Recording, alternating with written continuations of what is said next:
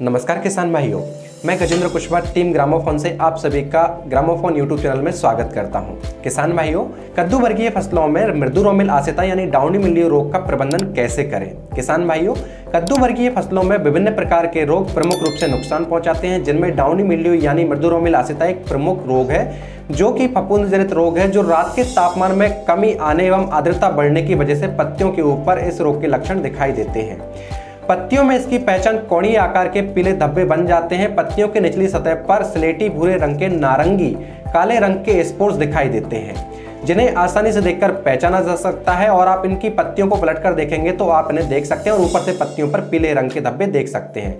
जैसे जैसे रोग बढ़ता है, संक्रमित पत्तियाँ गलने लगती हैं और झुलस कर नीचे गिर जाती हैं। इसके लक्षण पके फलों पर भूरे रंग के धब्बे के रूप में दिखाई देते हैं। बाद में फल विकृत हो जाते हैं। विकृत फल खाने योग्य नहीं होते हैं, लेकिन बाज़ार में इनका मूल्य बहुत कम होता है और किसान को इससे लाभ नहीं मिल पाता है। इसके नियंत्रण के लिए किसान भाइयों Custodia azoxystrobin 11 percent plus tebuconazole 18.3 percent S C तीन सौ या संचार मेटालेक्सिल 8 परसेंट, मैनकोजेब चौसठ परसेंट डब्ल्यू पी छह ग्राम।